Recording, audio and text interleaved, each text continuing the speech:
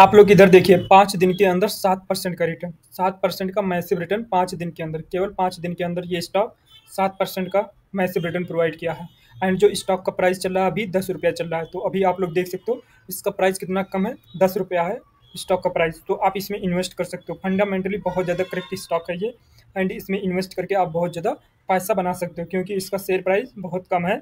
And इसने पाँच दिन के अंदर सात परसेंट का रिटर्न भी प्रोवाइड कर दिया है।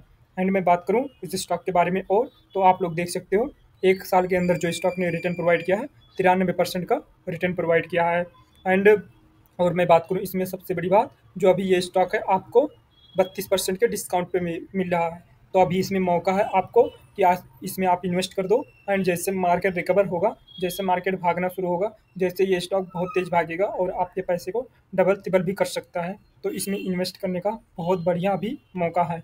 आप लोग देख ही सकते हो जो आपको कितना अच्छा रिटर्न प्रोवाइड किया है एक साल के अंदर।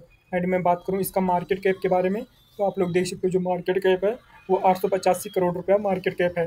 तो मार्केट कैप अभी बहुत कम है ये मल्टी बैगर भी बन सकता है। इसमें ज़्यादा पैसा मत लगाना, जैसे दस हज़ार, बीस हज़ार लगा सकते हो, जो आने वाले समय में आपको बहुत ज़्यादा पैसा बना के देगा।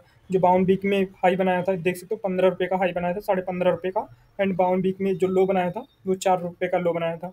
और ये डिविडेंट यील्ड प्रोवाइड नहीं करता है। तो अभी ये मल्टी बैगर बन सकता है ये स्टॉक क्योंकि अपने सेक्टर में एक, इसके पास एज है, जिससे ये आप आने वाले समय में सभी को कंपटीशन दे सकता है। एंड मैं बता दूँ, ये जो है किस सेक्टर का स्टॉक है?